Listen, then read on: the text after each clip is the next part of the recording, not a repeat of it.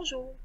Donc aujourd'hui, tu vas prendre la page que je te présente ici avec les crayons et tes surligneurs. On va parler du pH. Donc tout de suite, moi je m'en vais dans Origine. Alors, qu'est-ce que c'est que le pH? En fait, le pH, ça fait référence à l'acidité et à la basicité des substances. C'est peut-être quelque chose que tu n'as jamais entendu, la basicité, c'est pour ça qu'on va en parler aujourd'hui, mais l'acidité, ça, tu en as probablement déjà entendu. Donc, quand on parle, par exemple, du jus de citron, on va dire, « ça goûte acide », ou encore de la limonade, quand même, c'est assez acide. Donc, euh, il y a beaucoup d'aliments qui sont dans cette catégorie-là. Donc, c'est ce qu'on va voir. Alors, tout d'abord, on commence tout de suite avec, justement, les acides. Donc, les exemples qu'on vous donne ici, le jus de citron, le vinaigre, ce sont des goûts qu'on reconnaît facilement, justement, de par leur acidité.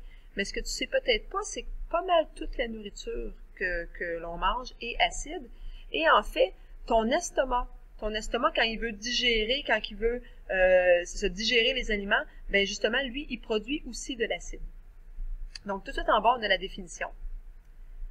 Donc, on va vous dire qu'un acide, c'est une... Oups, donc, un acide va, est une substance qui, quand on, quand va dissoudre quelque chose dans l'eau, par exemple, euh, ben à ce moment-là, parce qu'il faut que ce soit absolument un liquide. Donc, on ne pourra pas euh, tester l'acidité de, quelque chose si c'est pas liquide. Donc, on doit le dissoudre pour le rendre liquide parfois. Et à ce moment-là, il va y avoir des propriétés. Ces propriétés-là, bien, premièrement, il va avoir un goût aigre. Donc, c'est le fameux petit goût là, qui, qui te fait comme euh, euh, grimacer un peu là, si tu prends du vinaigre, par exemple. Ensuite, ça va conduire le courant électrique. Et finalement, ça va produire une réaction effervescente avec le métal. Ce que ça veut dire, ça, c'est que s'il y a un produit qui est très acide, c'est pas, pas juste, mettons, du jus de citron, mais encore plus acide que ça, comme par exemple l'acide de batterie qu'on utilise, ben à ce moment-là, si tu mets un métal en contact avec ça, ben ça va faire comme des petites bulles, ça va créer euh, de, l'oxygène. En fait, ça va, ça faire un dégagement de gaz, pas nécessairement de l'oxygène, mais un dégagement de gaz qu'on appelle de l'effervescence. Donc ça, ça va se produire en contact avec des produits acides. Le dernier, je veux juste pas que tu le retiennes par cœur, donne une couleur rouge au papier tournesol bleu. C'est ce qu'on verra quand on fera le laboratoire ensemble. Donc ça, c'est pour les substances acides. Les substances basiques, ici. Donc les substances basiques, elles, on va aller dire que euh, ce sont des substances qui sont généralement visqueuses. Visqueuses un peu comme du savon. C'est un peu gluant. Donc, visqueuse et ça a un goût amer. Donc là, encore là, si on le dissout, on va pouvoir avoir ses propriétés. On va avoir, premièrement, un goût amer, la texture un peu gluante, donc visqueux, et ça conduit aussi le courant électrique euh, comme, euh, comme les acides. Encore là, pour le papier tournesol, je ne te demande pas de retenir ça par cœur, mais on le verra en laboratoire, donne une couleur bleue au papier tournesol lorsqu'il est rouge. Ce qui est intéressant avec nos substances, c'est que l'acide et le basique, c'est un peu comme des, opposés, c'est un peu comme des contraires. Mais c'est possible de mélanger une substance acide avec une substance basique. Par exemple, si je prends quelque chose de légèrement acide, comme, euh, disons, du café, et que je le mélange avec quelque chose d'un peu basique, je dis un peu n'importe quoi, c'est pas pour manger, on s'en doute bien, mais mettons du savon, du savon liquide, ben c'est possible de venir neutraliser la substance. Donc, ton café qui est légèrement acide, ton savon qui est légèrement basique, va venir finalement à donner une substance qui est neutre. Donc, c'est ce qu'on vous dit ici. Donc, c'est possible de neutraliser une substance. Et entre autres, ce qui est neutre, c'est de l'eau.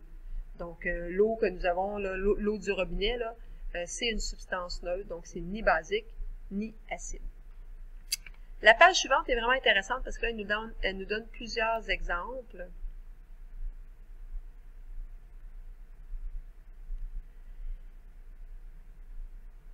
Donc, je vais te demander premièrement, avant que je te montre tous les exemples, je vais rapetisser ça juste un petit peu pour qu'on puisse voir la, page, la partie qui m'intéresse en son entier. Donc, c'est l'échelle de pH. L'échelle de pH va de 0 à 14 ou encore de 14 à 0. 0 étant les substances très, très, très, très acides. 7 qui est au milieu, c'est neutre. Et à l'opposé, le 14 qui est très, très, très basique.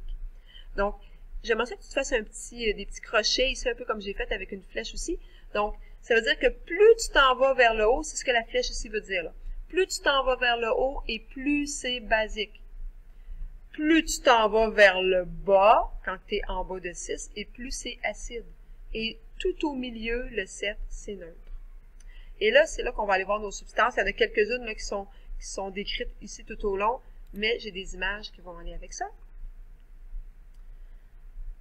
Alors, on commence, si je me rappelle bien, avec les produits acides. Oui, c'est ça. Donc, dans les produits acides, nous avons entre autres l'acide à batterie. Donc, que ce soit une batterie euh, euh, que tu utilises, une pile pour, euh, pour faire marcher certains objets électroniques chez toi, ou encore une batterie de voiture, ça utilise de l'acide. On dit que le pH est proche de zéro. Donc, tu t'imagines, c'est vraiment, vraiment, vraiment très acide. Ensuite de ça, on y va comme en, ordre croissant, de, plus en plus, de plus en plus grand.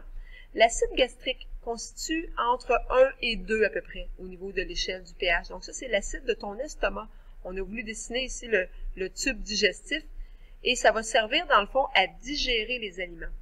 Mais il faut faire attention parce que si ton acide gastrique, euh, si ton l'intérieur de ton estomac devient trop acide, tu peux avoir ce qu'on appelle des brûlures d'estomac. Et là, ben, à ce moment-là, pour te, soulager, pour te, te, faire du... Tu vas devoir prendre des produits peut-être légèrement basiques pour venir neutraliser ton estomac à ce moment-là.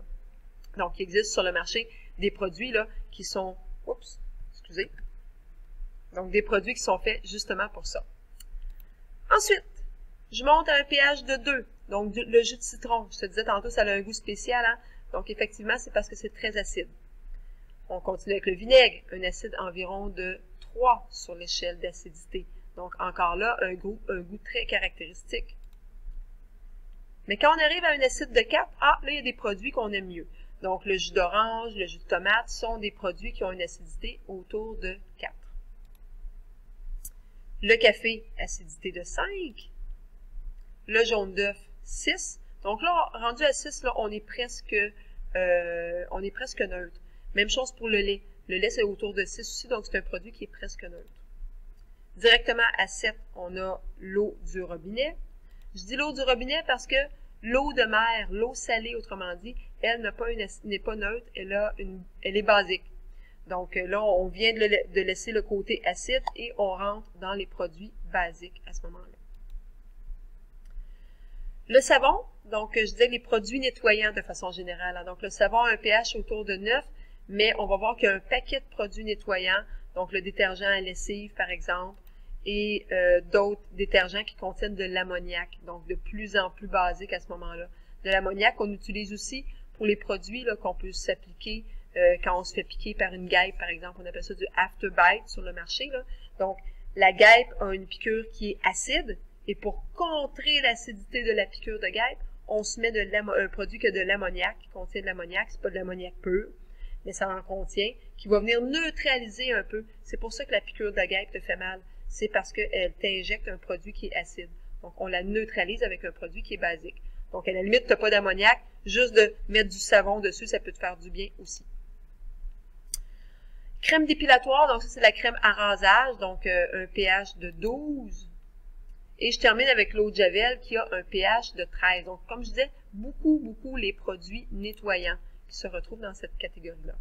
Bon, mais quand on revient à notre échelle qu'on avait tout à l'heure, eh bien, on peut déterminer certains produits euh, de la vie courante, là, de la vie courante, avec leur niveau de pH. Je te demande pas d'apprendre ça par cœur, mais j'aimerais juste que tu saches si c'est acide ou basique. Donc, par exemple, quand on parle d'ammoniac, parce que l'ammoniac, on en retrouve dans beaucoup de produits nettoyants. Le savon, je veux que tu saches que c'est basique. L'eau de mer, c'est basique aussi. Le sang, en passant, hein, si tu poses la question, le, sang qu'on a dans notre corps est légèrement basique, à peine un petit peu. Donc, l'eau que l'on boit du robinet, elle est neutre. Les pluies acides. Les pluies acides, on va dire que c'est une pluie qui est acide quand son pH est plus petit que 5.6. Donc, euh, s'il y avait un pH de 6, on appellerait pas ça une pluie acide. Donc, pour la catégoriser de acide, euh, on demande un pH qui est plus petit que 5.6. Le café, c'est aussi acide. Et tout ce qui est nourriture. Donc, quand c'est de la nourriture, tu ne te casses pas la tête. Le jus d'orange, jus de pomme, jus de vinaigre, ce sont des produits qui sont acides. L'acide de ton estomac, ça le dit, hein, acide gastrique, et l'acide à batterie. Donc, ceux que j'ai soulignés, ce sont des produits que je ne veux pas que tu saches le, pH exact, mais juste de savoir un peu dans quelle catégorie ils se trouvent. Donc, on continuera à parler des acides parce qu'on va faire un laboratoire à ce niveau-là et tu vas avoir à mesurer. Donc, tu vas voir comment on mesure l'acidité d'une substance. Donc, on se revoit en classe.